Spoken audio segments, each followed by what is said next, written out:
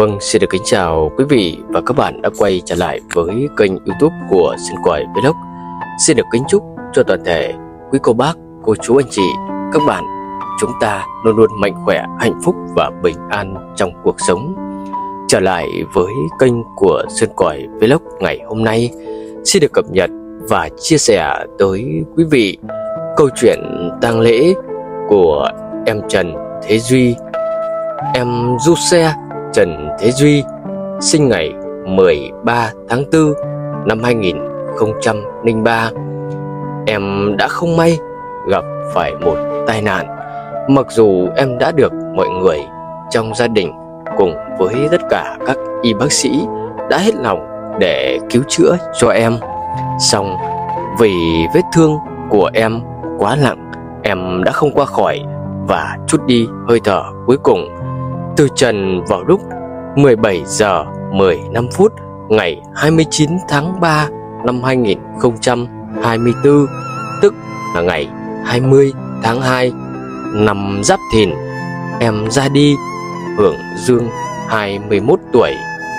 Trong giây phút nghẹn ngào xót xa, Gia đình đã đưa em Trần Thế Duy trở về nhà để tổ chức lễ khâm niệm và lễ tang cho em.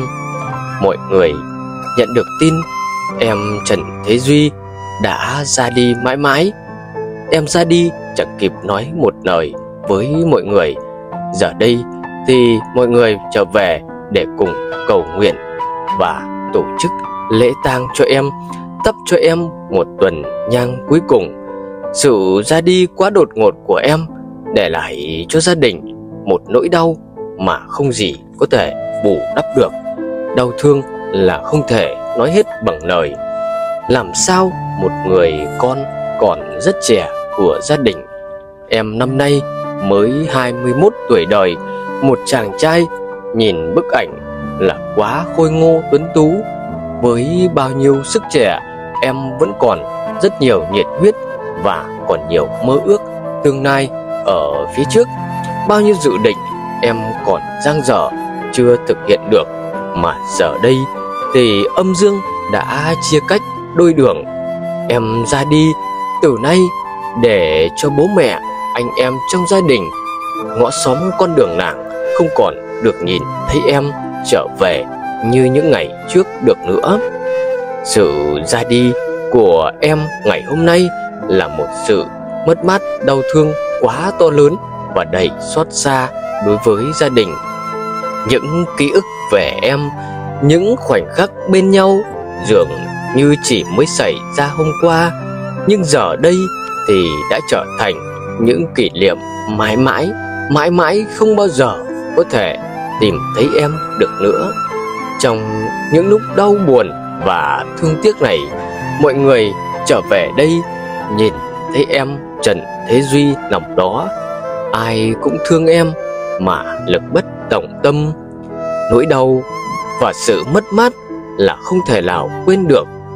Từ đây, cảm giác của gia đình sẽ rất trống rỗng, cô đơn và thiếu vắng hình bóng của em.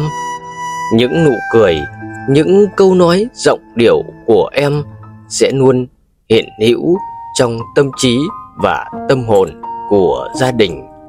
Bố mẹ của em nuôi em thì không quản khó khăn, vất vả, gian nao với cuộc đời. Đã bao năm bố mẹ chăm sóc, nuôi dưỡng cho em, chỉ mong rằng cho em được khôn lớn, được trưởng thành, để rồi sau em yên về gia thất, xây dựng gia đình, bố mẹ cũng được hưởng hạnh phúc bên cháu, bên con, và cũng có thể được dựa nhờ vào em khi lúc tuổi xế bóng về chiều. Nhưng bao nhiêu mơ ước của bố mẹ, em Trần Thế Duy giờ đây thì đã tan thành mây khói. Trong phút chốc thì em đã rời xa gia đình, rời xa bố mẹ, rời xa nơi em đã sinh ra, chẳng nói với mọi người một lời. Em đã từ bỏ tất cả để về với chúa và từ biệt mọi người. Âm dương cách trở, không biết nói làm sao cho đủ cho đầy. Thương nhất là bố mẹ của em. Giờ đây mất đi một người con còn quá trẻ. Bao nhiêu tự hào về em, Bao nhiêu những dự định dành cho em.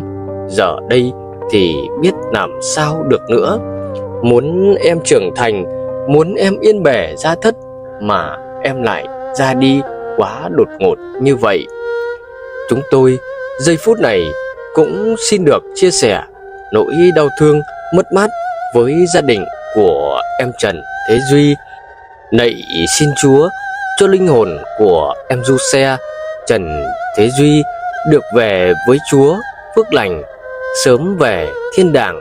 Mong cho những người thân trong gia đình không quá đau lòng để vượt qua được những mất mát, đau thương, ổn định lại tinh thần và tiếp tục cuộc sống mới. Ai rồi cũng sẽ phải ra đi, dù biết rằng mất mát của gia đình em Trần Thế Duy ngày hôm nay là quá to lớn, nhưng gia đình hãy cố lén nỗi đau để em Trần Thế Duy ra đi được bình an, thanh thản và xin được thành kính và phân yêu cùng với gia đình em. Ở đời thì không ai có thể tránh khỏi sinh não bệnh tử. Mong gia đình hãy cố gắng để vượt qua và làm nốt những gì mà em Trần Thế Duy vẫn còn dang dở khi em còn sống trên dương trần. Quý vị và các bạn theo dõi được video của Sơn Còi Vlog ngày hôm nay, hãy để lại những lời bình luận và chia sẻ để cùng động viên cho gia đình Tang Quyến.